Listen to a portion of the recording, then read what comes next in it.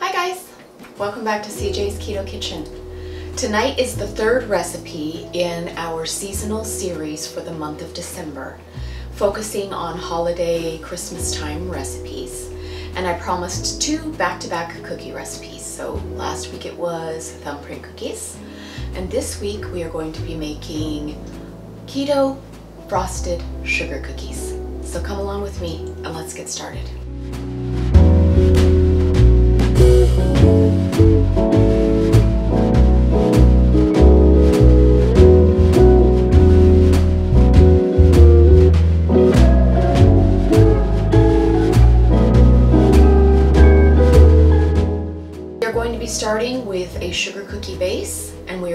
Be frosting it with a cream cheese buttercream.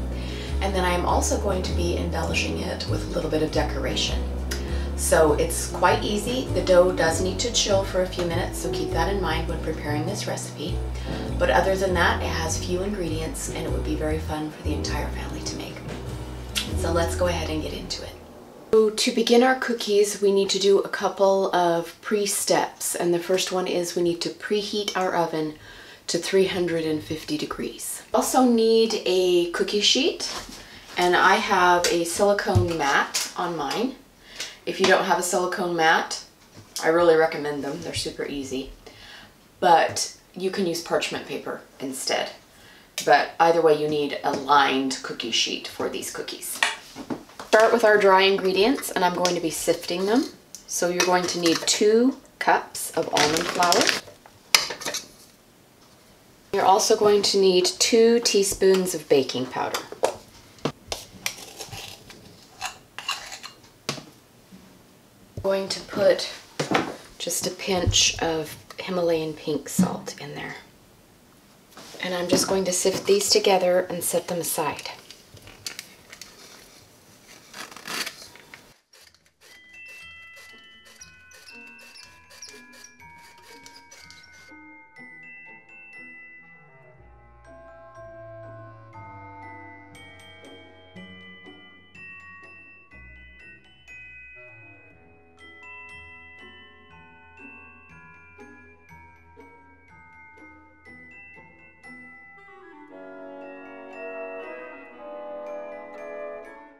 Am going to set this aside now while we work on our wet ingredients. We're going to need a half a cup or one stick of softened butter.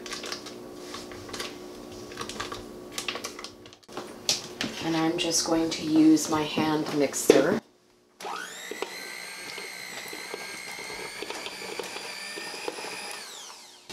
to Make sure that that was soft enough, and it is.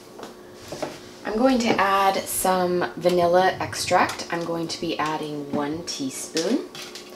You could flavor this however you prefer. If you wanted to do almond or orange or lemon, whatever flavor you like your sugar cookies to be, but I'm just traditionally using vanilla.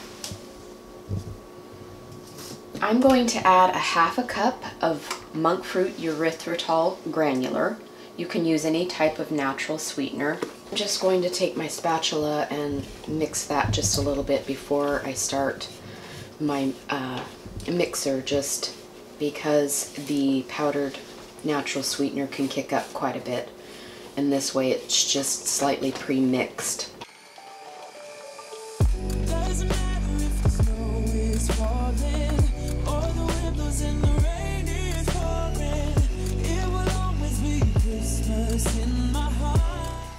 I'm going to add just two small squeezes of a squeezable sweetener. I'm using Splenda in this case.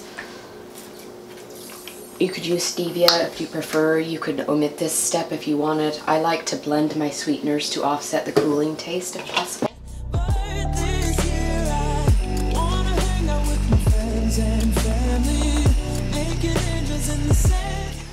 Now we are going to be adding two eggs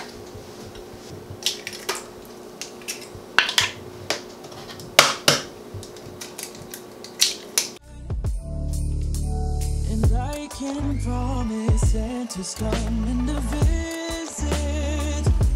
No, he wouldn't miss this in Christmas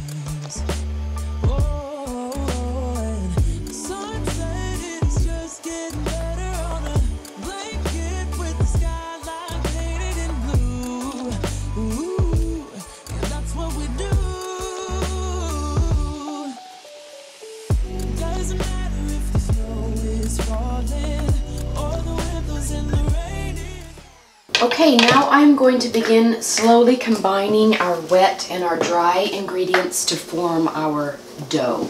Remember we have our sifted product that I set aside and I'm just going to start slowly incorporating the two together. Put about half in there. It will always be Christmas in my heart.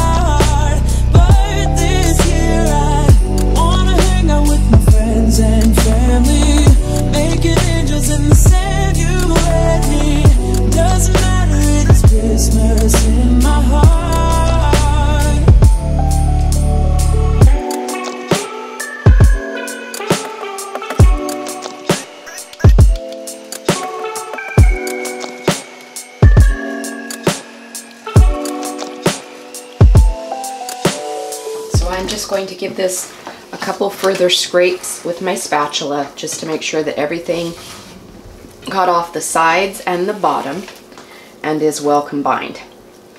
Now I'm going to let this dough chill in my refrigerator for about a half hour, 45 minutes before we start forming our sugar cookies.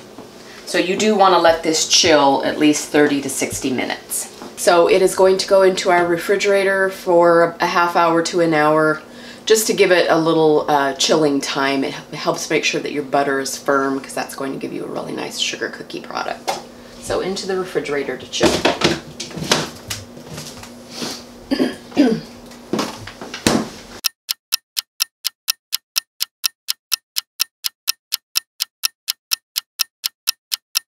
So because these are frosted sugar cookies, we need to make our frosting. And I'm going to be making a cream cheese buttercream.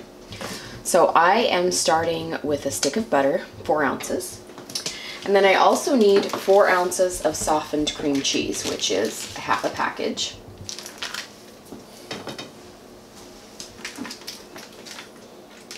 I want to add some vanilla extract. If you want to use a flavored extract in this step, you could. You could do almond or orange or lemon. Uh, you could do peppermint. It all depends on the type of frosted cookie that you're going to be doing. But I'm just going to stick with vanilla. And I'm going to mix those together before we add our sweetener.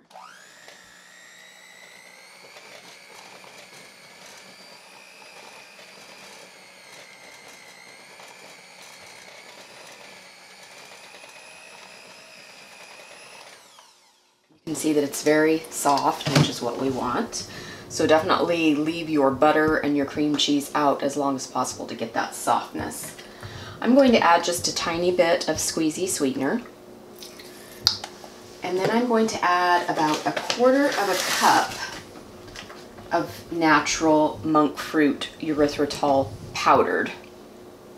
You definitely need powder a powdered product for frosting because it won't leave that granular taste.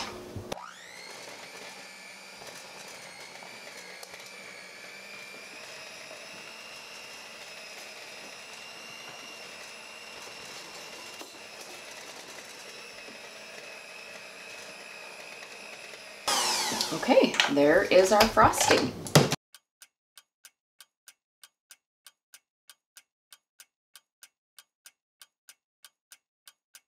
Okay, so our dough has been in here for, I left mine in about an hour. So we are going to now scoop it into our cookie balls. Okay, so I have my cookie baller that I'm going to use. And I'm going to get my cookie balls on the cookie sheet.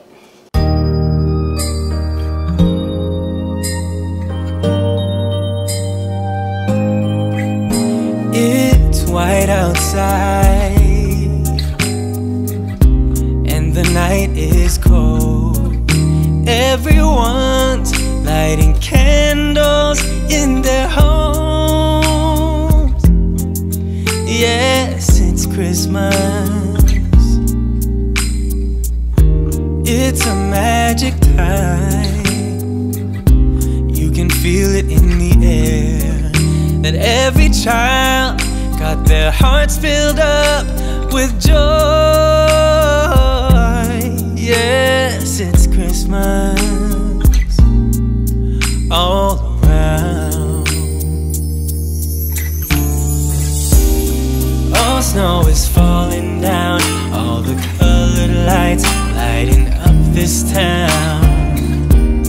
And as I walk outside, hear the Christmas choir sing, Merry Christmas.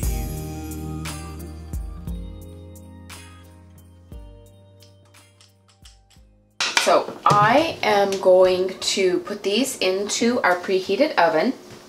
I'm going to start mine at about 16 minutes. It should take anywhere from 16 to 18 minutes or thereabout, but I'm going to start on the lowest amount of time first and then check on them. So that's 350, 350 degrees for 16 minutes.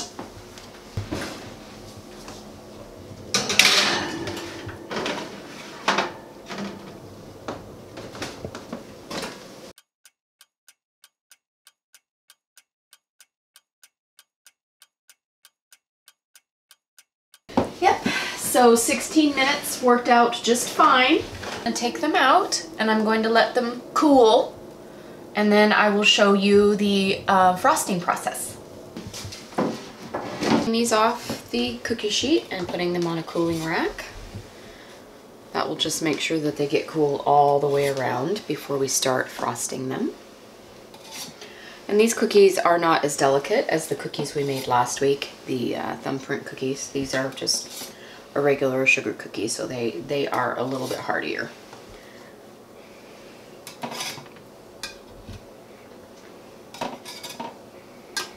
So we're just gonna let these cool for a few more minutes and then we will start icing them. We're ready to begin the frosting process. We have our icing that we already did and it's just been sitting here resting, so it's ready to go. And then I'm going to be using something fancy because after all, this is Christmas. So I have two products that I'm going to be using today. First of all, I'm going to be using an edible sprinkle. These are green glitter flakes. I got these on Amazon. They'll be linked in our um, description and also on our favorites. But you would you could probably find this uh, locally at a Hobby Lobby or a Michael's. You just have to look. And it is nothing but gum, Arabic, yellow number five, and blue number one. So it's basically just gum paste and color. So there's no flavor, there's no sweet. Walmart carries Wilton. You just have to be, you know, checking and seeing what you can find. I, I did get these on Amazon though, and they will also be linked. They're not very expensive. They're less than $5. And once again, these have no flavor, no sweetener. They are simply just gum paste and color. Spreading spatula, and I'm just going to take one of my cooled cookies and just start icing them. And you can put as much icing or as little as you would like. It all depends on your preferences and how many cookies that you want to ice. And I'm going to get a little um, cup of water so that I can make a smooth top on this for our sprinkles. A cup of warm water and dipping your knife in there. You can spread out the icing to make it really smooth because it kind of melts the butter temporarily. So if you want a really smooth product, you can do it like that.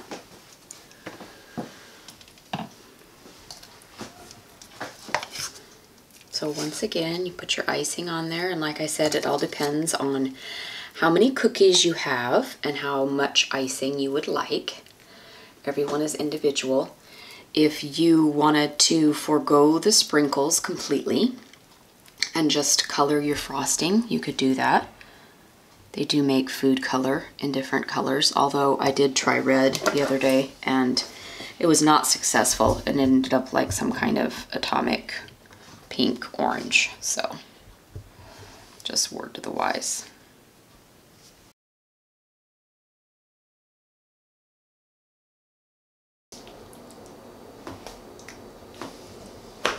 CJ. Hi. It's uh, beginning to look a lot like Christmas, Sure. especially tonight because we have keto frosted Christmas sugar cookies. The sprinkles are pretty. These are good.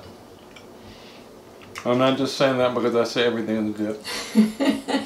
because the test batch you made on Sunday that wasn't good.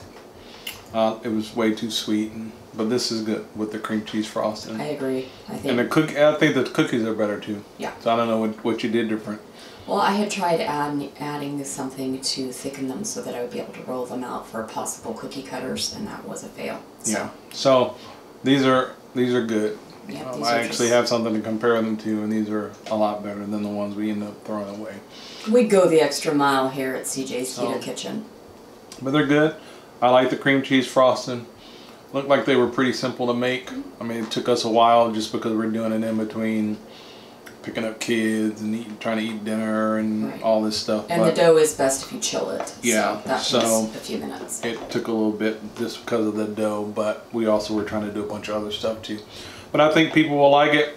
It's another one of those things where they probably could do it with their kids or grandkids. Mm-hmm. They might like putting on the sprinkles.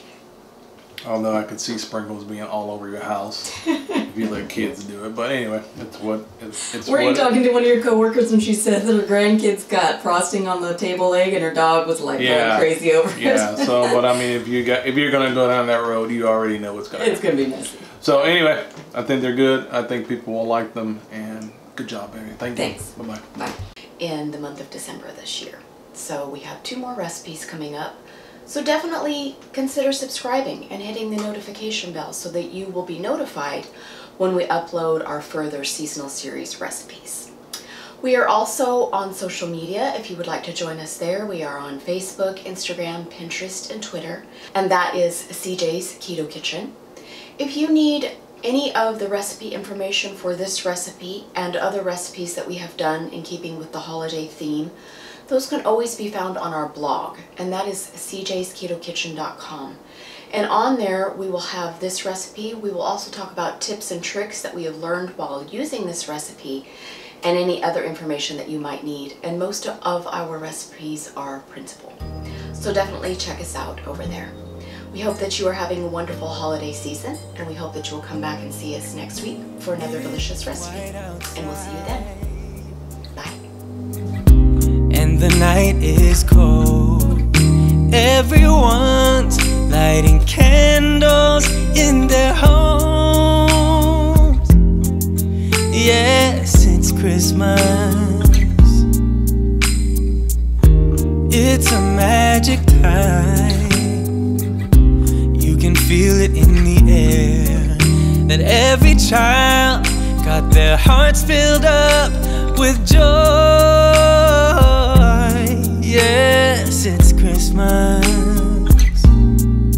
All around. Oh, snow